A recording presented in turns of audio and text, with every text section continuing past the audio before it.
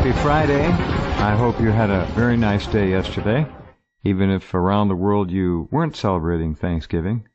It's always a day to sit back and look around and try and look at the positive things we do have, although that is not an easy task, I agree, in many cases. Dean Henderson is standing by for this first hour. Hello, Dean. Welcome. How was your day yesterday? Yeah, it was fine, man. Just uh, ate a lot of turkey, old school. How about you? Uh, well, it, it came and went. Yeah. Yeah, What just me and? Jill. Yeah, was chill. we have kids. I suppose same with you, probably. Just yeah. Well, I actually, uh, I had a very low key day. Let's put it that way. Nice. All right. That's the way now, do it. yeah. That's Uh, the way to. Better than a lot of people in Saudi Arabia are going through now. Have you been following this? I don't know what you've been following closely, but the Saudi royals and what's going on there is is really a scene. Uh, Yeah. It's a big story. Uh, you- You've been on that, right? Yeah, I mean, as much as you can. Yeah, as much of as it, we you can find out. but Here, uh, let me tell our listeners uh, a little bit about this, and then we're going to talk about this because it it really is important to, understand that the Saudis are at the the root of so much of what uh, the Zionist state of Israel and the international banking cartel is perpetrating on the world. They're they're really the implementing foot soldiers in many ways, literally and and figuratively. Uh, the latest we have is that Crown Prince Mohammed bin Salman, who is supposed to be installed as king this week, keep hearing that, uh, he's still the crown prince, is the guy who came on as the so-called uh, moderate Muslim uh, in very much uh, a reformist kind of uh, of a uh, a modality. He's supposedly bringing things forward. Well, the latest we have now is that, as you know, many, many of the uh, royal family members, a couple hundred at least, apparently have been arrested and are being detained. Now, that means they've been basically held under house arrest. There's a big hotel they're using for that. And the latest we have that came in yesterday, the Daily Mail reported from the UK that American Blackwater mercenaries and other mercenaries have been hired by uh, Prince Mohammed bin Salman, MBS as he is known, accent on the BS, uh, to go in there and torture these people, uh, including uh, the brother, uh, Prince Al Walid bin Talal, is worth billions, seven or eight billion at least. Uh, he's been hung by his ha- his heels and beaten. Uh, and I think what's going on here ultimately is that MBS is, is trying to not so much do a political reformation as he is he's trying to loot the royal family to try to replenish the coffers of the Saudis. It is said that upwards of $800 billion are held by all the royals who have been incarcerated, locked up in this hotel. Uh, that's nearly a trillion dollars that the uh, the royal family, the ruling royal family, would like to have back in the treasury, and they're offering these people. Last point, apparently, their freedom in exchange for seventy percent of their wealth. That's the that's Wow. the deal. So, tell us what you know. Well, that's interesting. I mean, it does seem to be some sort of extortion aspect to it, um, because yeah. these guys are loaded, especially bin Talal, biggest uh, shareholder in Citigroup, also the biggest shareholder, well, second biggest shareholder in News Corporation after Rupert Murdoch. Which is why I've always said Fox News, uh, well, and the Wall Street Journal for that matter, owned also by News Corporation, are pretty much uh, Mossad, Saudi intelligence, you know, mind control on the American people. Let me say one other quick thing. It's important to set the stage for what Dean's going to say that we all understand, I understand it, many of you do, that the Saudi royal family, this whole Wahhabi, whatever they are, uh, they're varying descriptions, they're crypto, crypto Jews. They're working for the Zionist state of Israel and the international Zionist Bolshevik uh, organization called banking.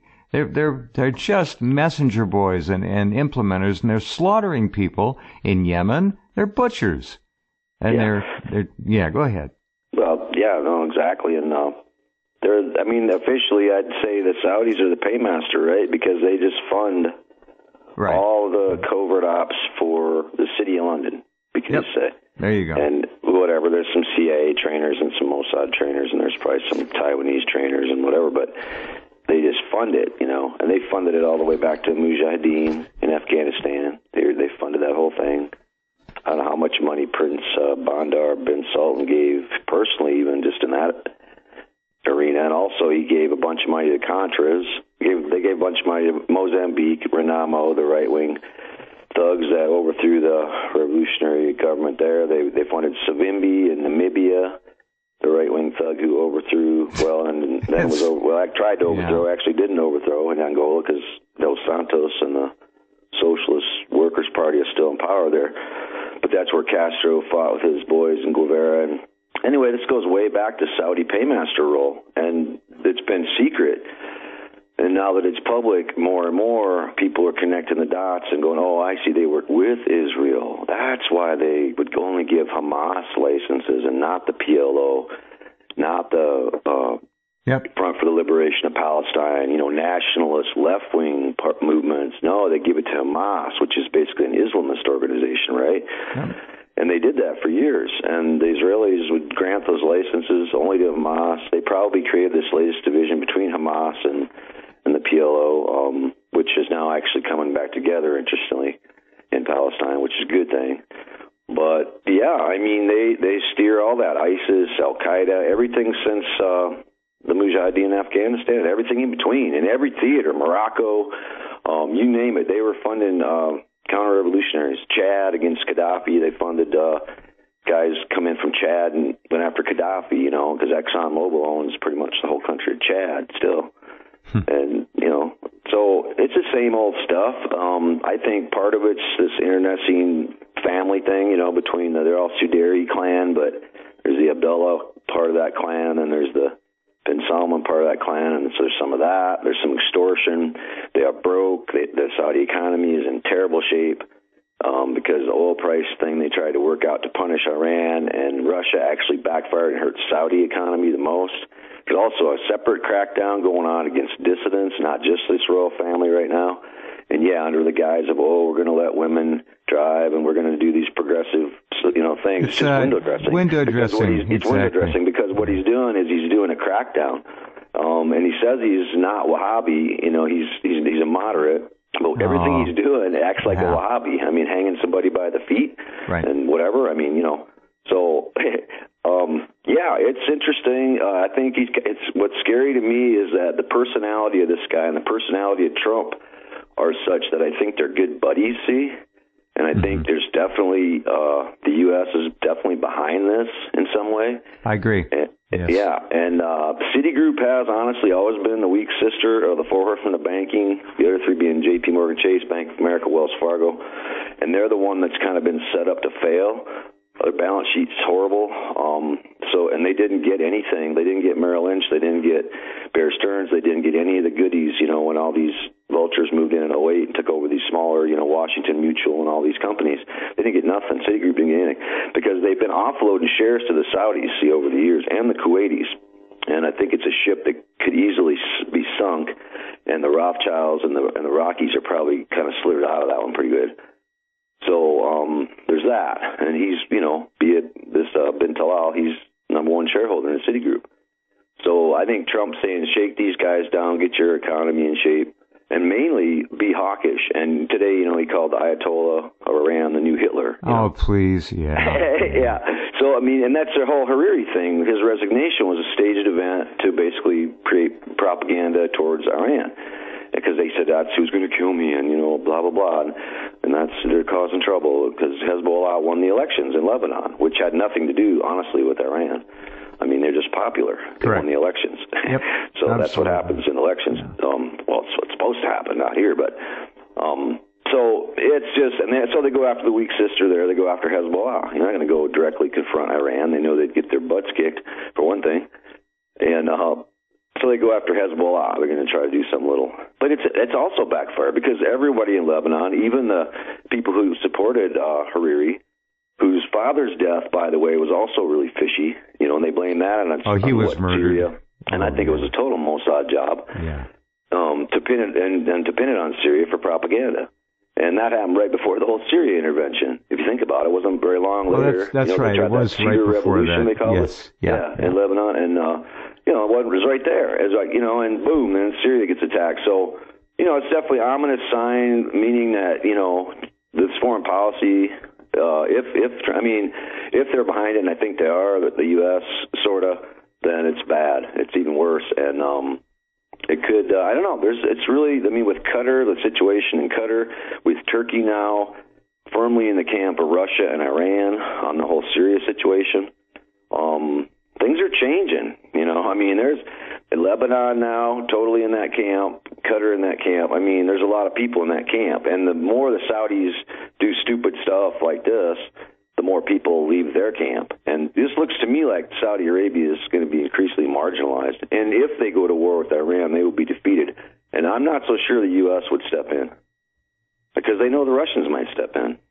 I think that's, they would step That's in. the biggest question of all, of course. Uh, it's Pu- if Putin over. steps in, that. it's it's done. Uh, of It's game over. They and the Russians aren't going to let Iran get invaded by the U.S. They're, I don't think so. They didn't let Syria get invaded. Well, they kind of did through guerrilla forces, but they rolled them back. But they're now they won't. know. Uh, I think the re- the relationship between um, Putin's Russia and Iran is, is is probably more powerful than most anyone understands. I think it's yeah, very most strong. anyone understands exactly. It is, and uh, especially in the West. Yeah. We're So- guessing, but I think it's a very good guess. No, it's. I think you're right on it. I don't. It's more than a guess. I think it's true. And but you know, so it's a. But it's just you know, yeah, it's a crazy situation, and all that in what a couple of days, all that happened, all that crazy stuff happened, and still, um, Well, yeah, this- we don't really know. we got to remember that the Saudi thing. They first they said it was a, a crackdown on corruption, and then there was talk about how there was an attempted coup. It probably was an attempted coup. We don't know for sure, but they keep saying it's we're cleaning things up. It's it's to uh, root out corruption. No, that isn't it at all. It's it's all so. lies. It's all lies. Yeah, you're you're right about the money thing. It's a big one because their economy is destroyed. Eight hundred, uh, almost a trillion dollars. They uh, they can extort from these these Yeah. princes and princesses, and they're all being held in in in, in the Ritz Carlton hotel there in Riyadh, uh, apparently. And Yeah. uh, you know, if Americans are en- engaging in torture overseas, that carries a jail sentence of twenty years. Uh, if Americans commit torture, yeah. uh, I didn't know that, but I, I just read it recently. And yeah, so what? Well, you know, Yeah, not to mention Yemen. I mean, you know, not even to mention what they're doing in Oh. Yemen. I mean, they're blocking off humanitarian aid when Yeah. you have a basically a famine in you know happening. It's not coming. It's happening. A famine. I mean, Correct. a huge Yeah. million people die kind of famine in in Yemen. And blockading all these, it's just barbaric, man. You talk about, you know, the new. Well, we've got to remember the Saudis. Uh, they cut hands and feet off, and they uh, they behead people Oh, yeah. on the streets, on the corners. That's They what they care. do. Yeah, No, they don't care. They They're shouldn't brutal. be our allies, neither should No. Israel. No. And that's that, you know. And but you know, I don't know. I just I'd like to believe there's a chance that you know the Tillerson or whatever they'd go the other way on this, but it seems like they're pretty behind him. And you know, like I say, this kid he's kind of young, little you know, got the braggadocio, whatever, you know, kind of. And I could just see him Trump hitting it off. See. And they're saying, look, and oh, by the way, another thing that happened in those two days, uh, Aramco was listed on the New York Stock Exchange. That's right. That was supposedly part of the deal uh, that Well, was yeah, made. it was. That's that's exactly right. And he's like, well, if you just put it on the NYSE, we'll just kind of look the other way when you do this thing, and something like that. And uh, oh, by the way, they don't mind because the, yeah, they don't. What they the last thing the U.S. wants, the biggest thing they've always worried about in Saudi Arabia, because it's not a country as much as it's just an oil colony, you know. And the, the biggest thing they've always worried about is, a, is an uprising, a revolution from the Saudi people. And if you leave this economy in tatters for too long, that's exactly what's going to happen. And that's also exactly why he's doing the domestic crackdown on dissidents because, and they're turning the other way on that too, because people are very disgruntled right now, especially with what he's just done. And, you know, it's pretty blatant, pretty obvious um, that, yeah, it's not. But so they're trying to funnel that money to the to the Saudi people, infrastructure, you know, whatever, free, Uh-huh. whatever they do, just to appease them. Um, for Christ's sakes, they don't even. I mean, when the U.S. trained the Saudis in the 50s, 60s stuff, you know, to defend Aramco's oil fields, they didn't even allow Saudi pilots to pilot the F-16s. They gave them or sold them or whatever it was, traded them for 30-year treasury bonds, mm-hmm. change a computer thing, done. But anyway, um, they wouldn't even let the Saudis fly those things because they, you know, that's they'd always worry about well, there'd be an insurrection and these pilots would come and bomb the royal palace. So they trained Pakistanis to do it. Pakistani pilots in the Saudi Air Force. Huh. Huh. That's right. how worried they are yeah. about that. So that's a big part of it. Because um, there's a lot of there's Shiites in Saudi Arabia too, and there's sympathy right. for Iran, and you know there's there's that. There's stuff in Bahrain obviously going on. Um, and these kings, I mean, their days are numbered. I think. I mean, it's just a relic. They're relics. It's just the game's up. You know, I mean. You know, here's another aspect that we, so we don't want to forget and, and need to mention, and that is that somehow, and I don't have all the I's dotted or T's crossed, but there's a big Saudi Arabian aspect to what happened in Las Vegas. No question. Everybody knows that now. Top five yeah. floors of the Mandalay Bay, owned by the royal family. Uh, okay. Al Walid uh, is the owner of the top five floors. Uh, Wally, call him Wally. Haven't and, followed Well, yeah, Wally owns the top five floors. That's the Four Seasons, and it is said by some that MBS uh, was over on holiday in Las Vegas because he's going to be king pretty soon. He won't be able to sneak out of the country. So he went over to play and, and have fun in Vegas. And it is thought that he might have been set up to stay in the top five floors. And there could have been an elimination of MBS by Wally, uh, who was in line for, for the throne until he was uh, displaced. And MBS was put in there by uh, old King Salman. So, mm-hmm. I, I, but there's a big factor there. Uh, oh, People yeah, just don't talk that. about that. Yeah, the top five floors. Bay, uh, top five floors. Wow. It's all. It might as well be the the Saudi embassy. You don't get in there. Yeah, yeah it's a restaurant, but uh, uh-huh, it's uh-huh. their territory. That's the way wow. it works, especially in corrupt Las Vegas. It is. Probably definitely had there was some element of that going on. Well, we have video yeah, just, now of uh, two helicopters uh, flying around with muzzle flash coming from underneath. Uh, they were shooting. We got uh, two videos of ground shooting, ground teams. I've got all that up there. So yeah, they, there were. This was a very sophisticated operation. Paddock probably never fired a shot. Didn't know what the hell was going on. They set him up and and uh, Lee Harvey Oswalded him, and that sure, was it. Of course. Yeah. Yeah, right across from the. We got. Uh, by the way, we got video of muzzle flash coming from seven stories above Paddock's suite from the Saudi-owned five top floors. Oh. So they were shooting at something from up there in the top. Mm-hmm. Mm-hmm. So something's They're going crazy. on. I mean, the Saudis are crazy, and uh, they just do stuff. They're just they've been emboldened because you know we've let them do it. I mean, we let them do nine eleven, oh, man. Absolutely. I mean, how bad's that? I mean, and you don't yeah. even cut ties with them. You just actually, you know, Bush just smokes a cigar with Prince Bandar as they you know, carry whisk the family out of the country. I mean, how bla- you know, and how much? It's just like letting Israel get away with the USS Liberty or 9/11 because they were part of it too. I mean, how how long are you Americans going to take this shit? Yeah. That's what I want to know from these yeah. assholes.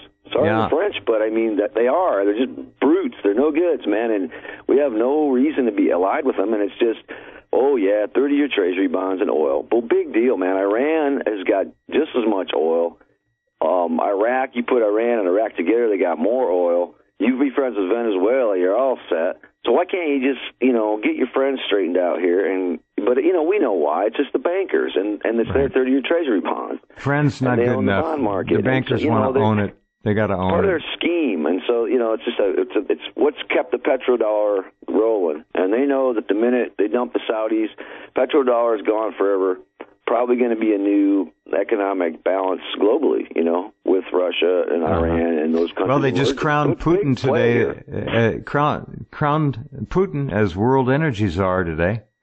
Hmm. He's formally number one. Uh, you mean, uh, what do you mean by that? He has the most oil? Yep. Yeah, I think that's right in the end. Yeah, they just hadn't discovered it all yet for this harsh country. And a lot of the U.S. companies had contracts in Siberia, but they, you know, Putin canceled some of those too when they ransacked Russia in '98, and he went back and canceled a lot of that stuff. Right. So, uh, but yeah, I believe it, and they're sitting on it, and that's the thing. Caspian Sea, all that stuff, uh, being friends with Iran, being friends. I mean, it's a big, yeah, it's the end game here in the Middle East. You know, is what it is. After probably 100 years of Balfour Declaration, Treaty of Jeddah, what five years after that, Uh huh. with the Saudis uh, turning them pearl divers into our clients because all them that's what they were. All these subsidiaries, they're just pearl divers, man. We were like, here, here's dollars or whatever. You're the new king, and you run stuff, and all you got to do is take orders, and and they did, and um, same, you Yeah. know. So it's it's coming up. The gig's up. The hundred year gig is maybe up. Uh, maybe it's not coincidence. You know, we got the Balfour Declaration, hundred years. Well, watch Uh, watch for uh, MBS to be king here within the next week or two. I think that's Probably, the way every the indication. Russian President Vladimir Putin, uh, according to uh, RT, which is a good news service, by the way, in Mm-hmm. case any of you have been buying into the lies. Uh, Mhm. Vladimir Putin has been easily uh, the most influential player in the Organization of Petroleum Exporting Countries, OPEC, since Russia agreed to the uh, cartel to cap crude output nearly a year ago. He is uh, apparently calling all the shots. This, according to one OPEC official, and it's uh, it's Vladimir Putin, now the oil czar of the world. That's what they're saying. Is Russia a member of OPEC officially? I guess they'd have to be. Mm-hmm. Didn't know that. They must do be some more that research. That's big too. Yeah. All right. Hold on. Uh, Dean and I will be right back. Okay, back to Dean. Uh, Russia has been involved with OPEC for years, but they are not formally a member. So that's uh, that's the fact of the matter. In But fact, they're coming a bit more involved. they're very heavily involved. Um, good. Alexander uh, Novak, the Russian energy minister, said that uh, in March, this is quite a while, coming on a year ago now. He said our cooperation with the oil exporting countries has proven to be necessary and very useful. So they're they're involved, but I I don't know how much trust there is between the two, but it's uh yeah Certain members, I'm sure there's a lot of trust. Certain ones, like the Saudis, Yeah. there isn't a lot Yeah. of trust, probably. You know, but I'm sure, you know, of course, Iran, Iraq, members of OPEC. OPEC's always had these two factions, you know, and uh, it was always the price hawks, they called them. And that was like Iran, Iraq, Algeria, Libya, Venezuela, Nigeria, um, Indonesia. No Poor countries, developing countries, in debt, need a lot of revenue, wanted a high oil price, and then you had the swing producer Saudis, and the Shah of Iran was in that category until the revolution, and um, those guys kept the oil price low for the West, hmm and um, they were called the price doves. hmm But they're, but you know, everybody knows that Saudi really runs OPEC. That's the thing, and they have for many years. Oh, just Aramco? of Of course, Yeah, yeah. the virtue. Yeah, exactly. The size I- of Aramco and the volume of oil they pump. So that's been the problem. So it would be really helpful if Russia would get more involved. That was a big thing in '73 when they really that whole oil crisis, you know, was all fabricated, and they used that to really break OPEC and you know really uh, break the, the price hawk faction. That's OPEC, what that's that what way. it was done for exactly. Yeah, and they did trying to break it. And they had the whole committee committee for steadfastness and confrontation. I think was the name of the group, led by Gaddafi, Huh. And they were demanding, you know, fair oil prices, you know, and all Uh-huh. this. And Syria, Iran, Iraq were all members of it. Algeria under Boumediene, you know, he was a pretty radical leader that really tried to wrest the oil and the, and the natural gas in Algeria away from these guys because they got a lot of that. Uh huh. State Oil Company, Sonatrach. I haven't heard that name in a long time. Uh, Yeah, right. Yeah, yeah, funny. I know. Here There was a now, let me ask you a question. What is your understanding about the the reserves of oil that the Saudis actually have? Uh, I've read between 650 and 800 billion barrels. You know, I'm not current on that. The last I remember seeing was like 255, and they were, and the next number two was Iraq at about 105. 105 You know, billion? That's been a while, but that's been a while, Huh. yeah. But double. I mean, Saudi had double of even the next biggest, you know. But now, I mean, I, I really honestly haven't kept track of that. I think uh, you've said I think Venezuela may have the biggest reserves now. Absolutely. Yeah, you know, let me let so, me look and see uh, here. Even though it's heavy crude, you know, there's a lot of it. There are different grades. It They have- changes, and they, you know, these guys hide it from us too. I mean, you know, Oh, like sure. Aramco, that's where Valerie Plame, you know, was going. I mean, she was a spy, and she was going into Saudi Aramco, and I think maybe she was trying to find out stuff like that, you know, like about oil reserves, because this was a time when you know some people were taking the peak oil thing serious, and they wanted to know like how much oil is actually in Ghawar oil field. You know, they by far the biggest oil field in the world. Um, and then they did the whole, you know, cake, whatever, yellow cake uranium thing, and destroyed her reputation. That was interesting. Was that a setup? Was she set up? I think she was mm-hmm. uh, to discredit her and what she was doing because she was working for the State Department as kind of, I think, a spook, maybe CIA even. I think it was CIA, and she was in Aramco, and, and you know, who knows? But it's all they don't want you to know how many reserves there are. That's the thing. So um, it's hard to find that information out accurately and to be here, accurate. Here, here's it. what we have formally yeah, uh, online right now. The, the proven oil reserves of Saudi Arabia are the second largest in the world, estimated to be mm-hmm. 268 billion barrels. Yeah, right? what, 255 was what I remember. You were right. Yeah. Uh, okay, now, as far as number one, was that Russia then? Well, it's, it's, Russia, or, but but uh-huh. is it? Uh, Venezuela, yeah, right. uh, proven reserves slowly increased to reach 80 billion barrels by 2005. Uh, but then they began to grow exponentially as oil prices rose, blah, blah, blah. Uh, the country's proven reserves reached 297 billion, which surpasses Saudi Arabia, leaping over the Saudis to become the country with the world's largest crude oil reserves. Now, we're getting, uh, get this, this is as of April this year. The bulk of Venezuela's oil is on the uh, Orinoco Belt, which yeah. is in the northern part of the country. In fact, according to some estimates, there are as much as 1.2 trillion barrels of oil in the region.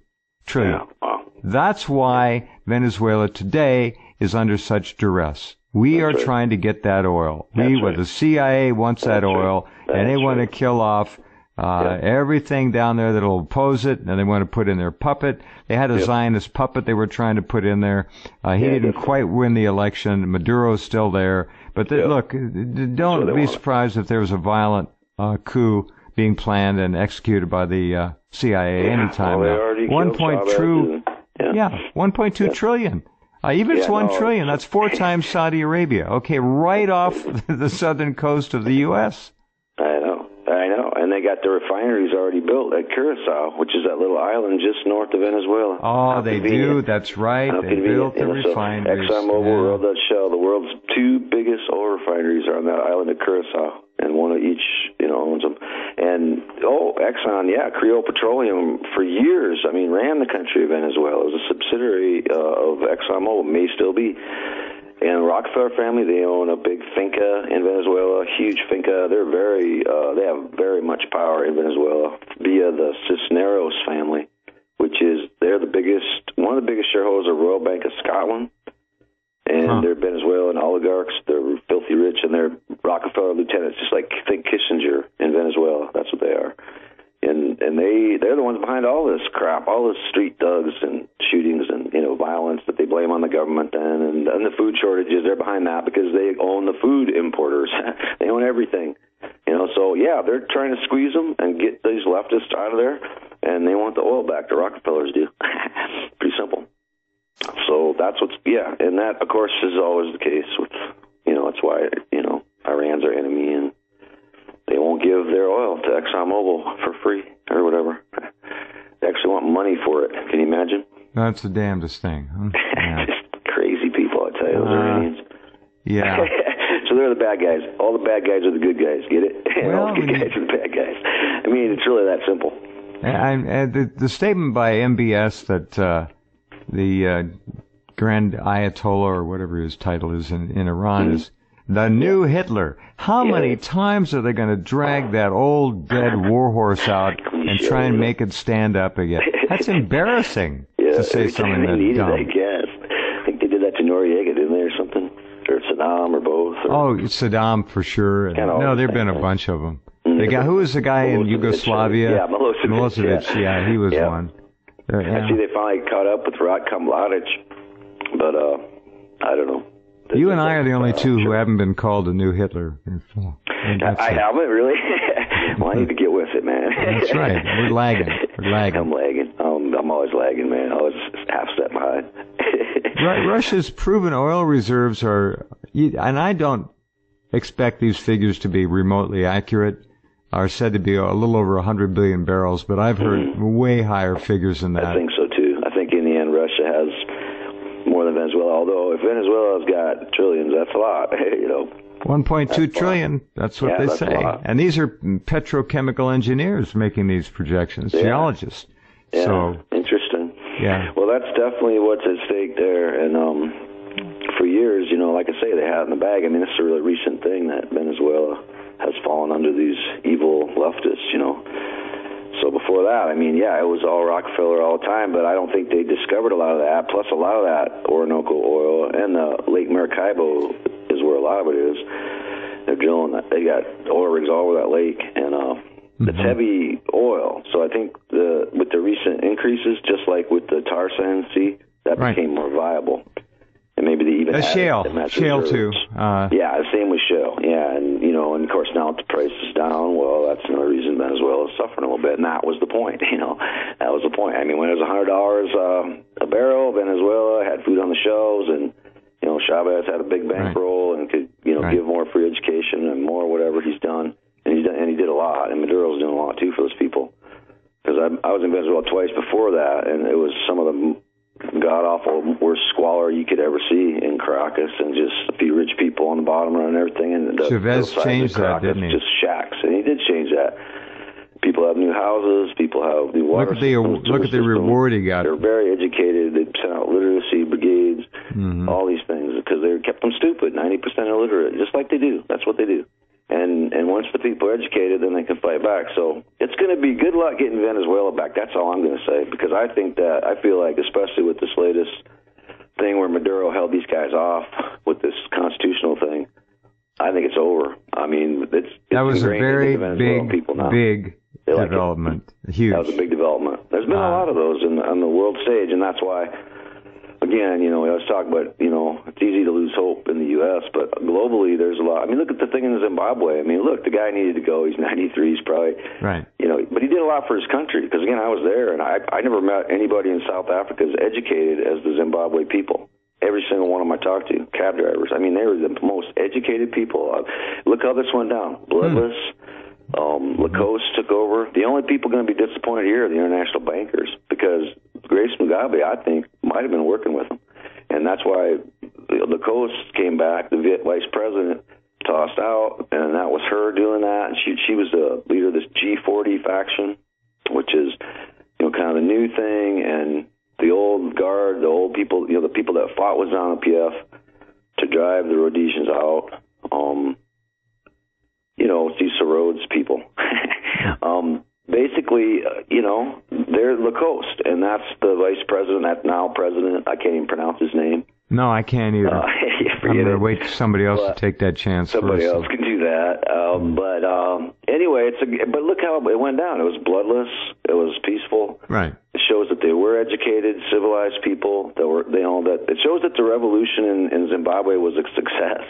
Right. And well, they uh, gave uh, success, but they're not going to give. Once they figure out, you know, these guys think now that oh, this guy it's going to be all different. Some of them might think that, but this guy's even more hard line than Mugabe. I mean, Lacoste is the old guard, man. It's they're not going to cozy up to Barclays or anything. Mm-hmm. you know, mm-hmm. so they're actually probably you know going to take take you know use the resources, and I hope I hope to God the country can can make a comeback because it's rich in resources, and these bankers have just kept it down. Blamed everything on Mugabe, and he's you know he wasn't perfect, but like I say, I think he did a lot for his people, and so he's another one of those bad guys. That's a good guy. So just so people know that, even though okay, he's 93, he might have went up, you know, and he's in there too long, 37 years. Give me a break, go. you know, just go. Go have fun. Go do have something fun. else. I mean, geez, you're 93. I well, they gave him a, a have, dude, you know. Yeah. So they yeah, gave him a free pass, and and gonna, yeah, there you go. And interesting, you know, the wife fled right away. Grace oh, that, that was a joke. Yeah, I, or I fled right away to Namibia. So I think they, you know, I think they were onto something. Lacoste was onto something. They, it was good they did what they did because I think it was a banker thing, and she would have been the next president. And then, yeah, then they would have sold them down. You know river. what you said about the the uh, new refineries? Uh, what was Yeah. the name of the island again? Curacao. Curacao. All right, Curacao, yeah. Curacao. We have. Uh, you know? When the last refinery in the U.S. was built? Yeah, right. Long in the mid 1970s. Now, how stupid is that? How stupid is that? I know. Take the processing offshore value unadded, I guess, or. Mm-hmm. But you know, of course, of course they will, because they can pay a guy in Curacao like whatever, a dollar a day or whatever, you know. and Got to pay a guy in Port Arthur a hundred bucks a day or whatever. So yeah, of course they did all that, and then they ended up selling all those old refineries to Valero Energy, and they're just a liability. And I think Valero, I've I've seen them going around now. Valero buying up BP and Shell gas stations, and then they'll just shut down. And I think Valero. Wait, they, wait, wait, wait. Uh, they, Valero buys up stations and just shuts them down? Mm-hmm. And then they shut down. what are they using uh-huh. for write-offs? Yeah, I I think it's a Saudi kind of golden parachute thing, maybe where they did this in Houston with the commercial property market in the '80s when Mosbacher and all these, you know, they became Baker, James Baker, all of them became Bush officials later. But the uh-huh. Houston real estate market was really depressed, so the Saudis came in and just basically bought all this overpriced property, took it off their hands at inflated prices, hmm. and so then they let the Saudis fly hundred dollar bills to the Cayman Islands and whatever, do some drug trade, I suppose, and whatever, whatever they do, whatever mm-hmm. their part of it was. It's fun, fun, you know, some, yeah. And so and I think that maybe that's going on again with this thing. You know, it's just like some kind of Valero, you know, being maybe a Saudi held entity. They got to check into it. But they sold them all the refineries, and they're just, mo- I mean, they're just, they all needed upgrades. So with the new EPA Well, laws, they're all going to be fine. I mean, you know, and so all the big boys, yeah, they exited the refining business. I don't know when it was, 90s kind of, I think, late 90s. We we have a, a Valero here, uh, not far, Mm-hmm. And I ha- I use them exclusively. You know why? They're Uh-huh. the only station selling ethanol-free gasoline, Uh, yeah. real gasoline that won't destroy don't your engine. Uh-uh. And, and you know, you don't put it in anything, especially a two-cycle engine, uh, your lawnmower, f- four-cycle, Uh-huh. Yeah. doesn't matter. You will destroy it. Your Harley, never put. Forget it. d- No, it'll ruin it. I agree, man. Uh, it- and they it. won't tell you about it. Now Harley had to Uh-huh. cover their butt somehow. So what they did was they said uh, 90 percent gas, ten percent ten percent ethanol is okay, but uh, Mm-hmm. don't use gas with fifteen percent ethanol because that's bad. so you know it's funny. It's all bad, uh, folk. And I only put uh, ethanol-free gas in my, my vehicle and, and my bike. That's I won't put anything else in it. No Yeah, way. man. Not a You get and it bike run, they run better. You can actually Yeah. feel them running better. I, I don't know if Oh, you have it there, but no, do. yeah, It's, that stuff is It's garbage. It's And it's corn. just what a waste of energy. I mean, stupid man to take Totally stupid. corn and just Totally lug it stupid. around and make just Well, this little bit of fuel out. you know it's GMO corn too, people. Dean, and that's Yeah, another GMO problem. corn. So what the hell? I don't want to eat it, but I don't want to see it going it. into No. fuel. I wonder what's coming out the tailpipe. I I don't know. Yeah, right. Yeah, right. I know. Really. Um, no, seriously. so it's bad. I wonder who owned. Uh, do you remember who owned that Valero before, or was it owned before? by Uh, yeah, it was owned by somebody else. I can't remember. Uh, that's what I think they're doing. And yeah, some of them they don't shut down, and some of them they do have notice. But that was like in uh, I don't know 2005 to 10, maybe when BP and Shell started buying gas stations, and that's right before the gas price went up. So they they were they didn't used to mess with gas stations because that's a low you know margin thing. You probably Right. did that. Right. They make money selling more potato chips. So but well, you make a, what, a penny a gallon or something. Yeah, whatever. But uh, but when gas went up to 450, that changed. And so then, right before that, that's when BP and Shell came in and bought all these gas stations, and so they owned the whole thing, all the way from the wellhead to the gas. You know who pump. runs most of the gas stations? Iranians. Yeah, oh, yeah. Heavy into the gas station business. That's interesting, right? I wonder if they're like these right-wing Iranians that fled the revolution. Maybe. I don't know. Uh, probably because someone worked for the CIA. I know that over here. I used to work for an ice cream truck. Uh, I drove an ice cream truck in Minneapolis, and the Iranians that owned it, I'm pretty sure they were like, I was really young, but I'm pretty Did sure. you did like, you run an ice cream business. truck? I did. I rang that little bell, you know, and uh, went to Good parks for you. yeah, it was pretty cool. It was something to do. Yeah, Back when fun. parents could still trust their kids to run out to the ice cream man. Now you don't do I that. know. We, we probably they would just hide behind or yeah, Yeah, grab the kids and they're gone. Yeah, maybe the ice cream man will have to have like a, you know, like a censored up. I don't you know. know. Or drive through something or yeah. Yeah, Oh, we used to have a nice, what a nice, Terrible. we had a nice quality of life here at one point. Oh could- man, that's right. I mean, well, we can do it again, but it's just going to take I don't know. People Well, pull their heads out. remember what, what? we got out of the White House now. Uh, uh, several stories that Trump is is uh, telling uh, Jared, don't call me Jerry Kushner, and Mrs. Kushner, Princess Ivanka, to leave the White House and move back to New York. Really? Yes. Well, that could be a good start. it's a start. I know the little punk uh, has baby. been little, the little Cool. Mossad mouse has been. Uh, Uh-huh. look at his face sometime and listen to him talk. Yeah, he's he's really a looking, I know. tweak. Yeah, it's Yeah, something. yeah, wrong. yeah. He's a little freak, man. I know Lizzie. It's like that John Kelly or whatever. Look at him, and he's like Lizzie. Yeah, they're all- I look. can see them. You know, I think you can see them. Kind of, kind of the lizards. They look like lizards. I mean, it's not. They do. joke. They do. Well, anyway, Jerry Kushner to me looks is a joke. uh, very much uh, uh, feminine. He's he's uh, Jerry yeah, very feminine. Jerry Kushner, yeah. Seems like it, but that's that's what they want. I look, they want men to be feminine and women to be masculine, right, Jeff? oh, Come there's on your role it right. model. I know. I you know we're supposed to be going for these Yeah. Illuminati's. I guess we should start lisping pretty takeover. soon. Is that it? Should should we lisp? Maybe, yeah. When we talk? just be a little more meek, maybe. Keep those keep those wrists loose and. Uh, yeah, yeah. I think that's way that we're going to survive, man. They're going to round us up. But, uh, oh well. yeah. Round me up, I guess. On second thought, but Well, um, you know, nah, I. I guess we'll get we'll get to see President Trump light the national Christmas tree. He'll be Well, he's be probably fun. looking forward to that. yeah. He'll say he- Merry Christmas over and over again. And Hope he doesn't torch it, start on a big fire or something. mm, well, we got we got people He in this country who would do it. else, so you know, no big deal. Wasn't my fault. No. no.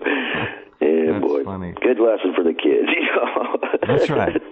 All right. Uh, a quick view, a quick look in our last minute over at uh, North Korea. Uh, it, it, it, it, China's playing the game here. I don't think the West. I don't think we have a, much of a chance against China and, and its its chicanery and its stealth. They're running the show over there. No one's talking about it much, but they're heavy, heavy into this. Yeah, and he's got Trump in his back pocket. This uh, Oh, Xi. Oh, Xi yeah. Jinping. I mean, Yeah. look like they they're just good best buddies over there. Best pals. playing like a fiddle, you know, really. But Yeah, you know, um, it's a two-way street because Walmart's China and China's Walmart. Don't forget. And uh, We- Black yeah, Friday, we man. will How see. could we forget? You know. I I guess you didn't go out today, huh? Nope.